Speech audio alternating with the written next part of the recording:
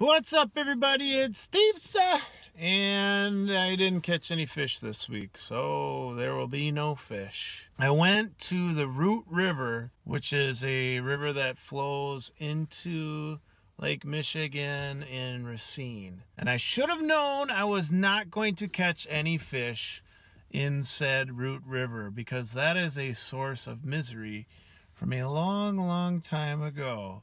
Let me tell you the story. So I was in the Boy Scouts. When I was in the Boy Scouts, the favorite thing, for me at least, was getting patches. You do something and you get a patch and they sew it on your shirt or whatever.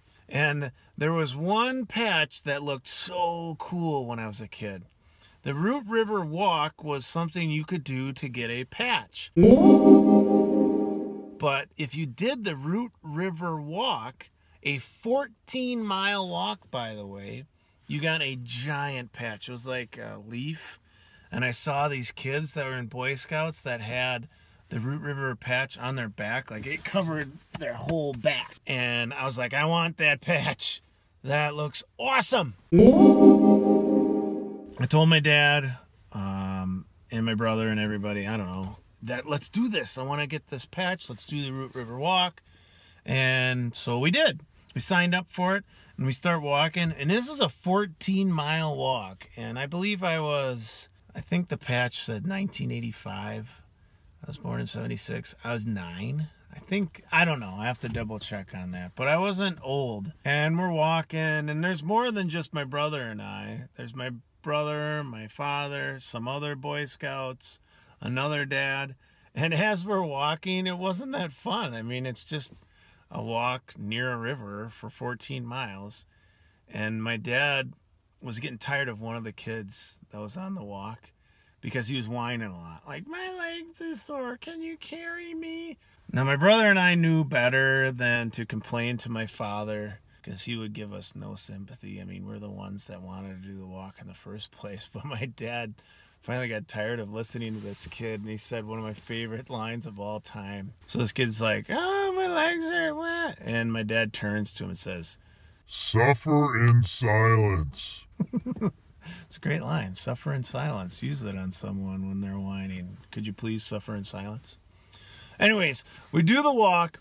I'm jacked because we get to some park. The end of the walk, they hand me this tiny little patch, like this little triangles, like beep, like this big on your chest. That's how big it was.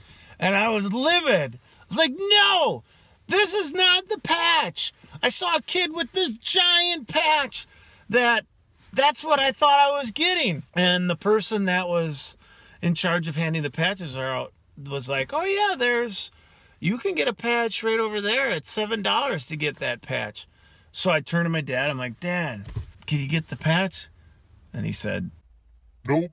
Let's go to the car. And then didn't get the patch. And I believe that was the last year I was in Boy Scouts because it's a very disheartening experience to not get the giant oak leaf root river patch. So then I go fishing there thinking that somehow karma and you know I've been good in my life and maybe now I'll catch a fish in the root river. Nope. Caught nothing. I got up at like 4.30 in the morning so I could meet some guy named Joe so I could buy spawn sacks. I don't know where I am. But I got the spawn sacks. That's a fun thing to say, right? Spawn sacks. oh, I hope they help me catch fish. To hopefully catch some some steelhead, and I caught nothing. Yeah, I'm gonna try and catch a steelhead, which is a rainbow trout. Maybe, I think. I struggle with the fish identification stuff. Take, for instance, I thought I caught a warmouth last week. How cute it is. It's so cute! Turns out it's a green sunfish. Either way, I hadn't caught it before, so that was species number nine. Look! Frying pan size, people! I tried like three spots on the Root River. I even went all the way to where the Root River enters into Lake Michigan and I caught nothing.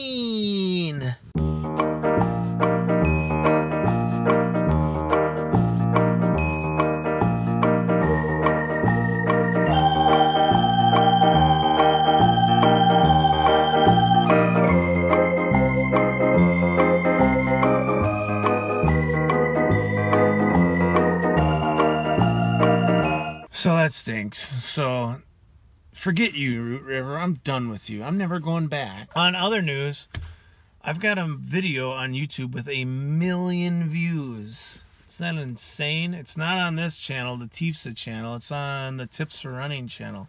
A million views! I have a thumbnail of my wife running. That might have something to do with it. But yeah, if you want to know how to build running stamina, a million people have watched it. Oh, and another thing, the last thing. This is so cool. So a while ago, I made a video about how Casey Neistat should turn one of my books into a movie. And I sent him my books. And check this out. He gave me stickers. Bam! This is not one of his stickers. This is actually from Jimmy Danko.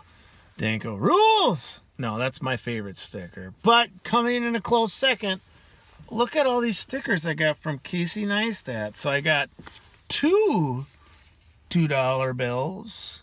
They're not real, see. But I got two of them. I got this Land of Lakes one, which is kind of cool because I live in the Land of Lakes. I actually played in a baseball league called Land of Lakes. I don't know if that's just coincidence. And it still says his name, Casey. You see it right there? Of course, American flag. Uh, do the right thing. Do the right thing. I got to put my phone number on that, I guess, and put this in my wallet. And then finally, it came in this cool package, which I almost felt bad ripping. You know, it was like sealed. It was sealed, and I ripped it, and yeah, it's pretty cool. So thank you, Casey. I love it. The only thing you have left to do is make my book into a movie instead of fighting with drones. I know that stuff's entertaining. Keep doing that kind of stuff, but let's make a movie, man. You know? It'd be amazing. All right. Take it easy. Thanks everybody for watching. I would have loved to have made a video with some actual fish, but I'm stuck on nine right now. Only have nine species. Gotta get that 10th. Come on, man. Give me number one. This means you're number one and you're to like and subscribe and push all the good buttons.